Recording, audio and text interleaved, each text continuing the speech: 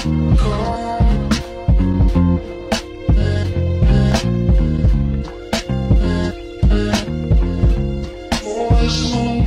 up, though? So I promised you guys a bow tie tutorial. So the best way that I can show you is to put it on my formal shirt. I can't do it around my own neck because uh, this may be a little bit embarrassing, but brother do have some muscles and it's tough for me to get to the places where I need to get to. This is a 100% silk bow tie that I got from Joseph A. Bank. As you guys can see here, it's got the neck inches mark. So you can just adjust it to your neck size. I have an 18 inch neck, so I went ahead and adjusted that. Two separate parts. You got your hook right there and you got your clasp and you just attach it here. And now you have two parts. Gonna go ahead and put it on here you would around your neck. I got my collar flipped up. You see that? It's already buttoned to make it easier. About one and a half inches long. So you take the longest end and you put it over the short end. And then you put the long end behind the loop. And then you make it a little bit tight, like a little bit snug. And for now, you're done with the long end for a little bit. So you got the shorter end hanging. You take this side right here, the easiest way that I can show you guys, let me show it right there. And then you take this finger and you put it right there, like so. You hold that together. Y'all see that?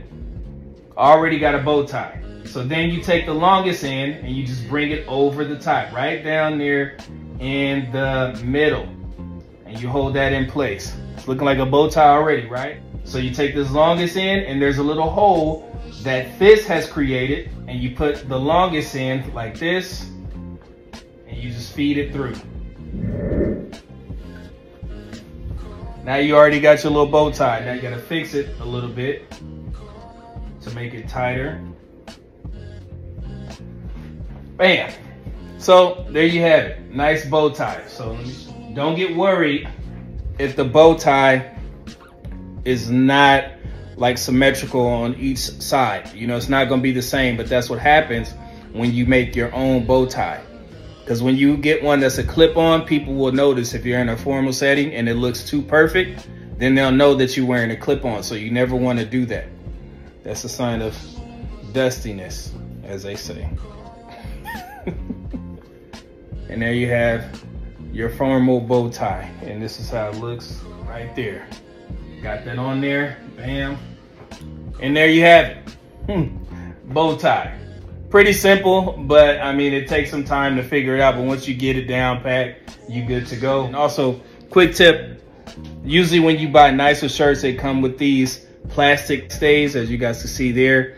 Get rid of these and get you some metal ones. They make the collar lay a little bit flatter, and that's what you always want, right? So these are fairly cheap. I'm pretty sure you can get these on Amazon. So go ahead and grab you a box of those and make sure you take them out before you take them to the dry cleaners. Take your shirts to the dry cleaners or you put them in the wash, right? But with a shirt like this, this is a nice, you guys can see right here, this is a formal shirt. So you never want to wash these. You always want to take this to the dry cleaners because it needs to be the whitest of the whites. Shout out to Dr. Umar. That's how you tie a bow tie. Hopefully that helps. And I will see you guys on the next live stream. Medium Man out. Peace. Yeah, I hope you guys enjoyed that bow tie tutorial. As you guys can see here, this is the same exact bow tie.